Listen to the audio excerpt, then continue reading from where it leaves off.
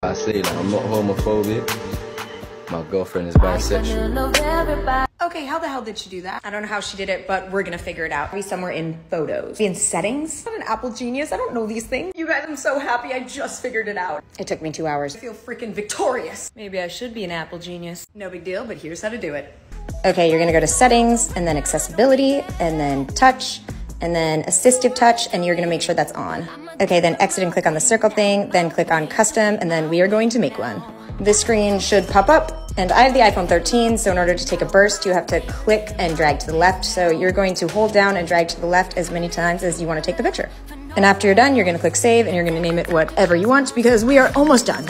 After it's saved, you're gonna go to camera and then you're gonna click on the little accessibility touch thing. You're gonna click on custom and then you're gonna click on the one that we just made. This weird little gray circle will pop up. You're gonna drag it over the camera thing and then boom.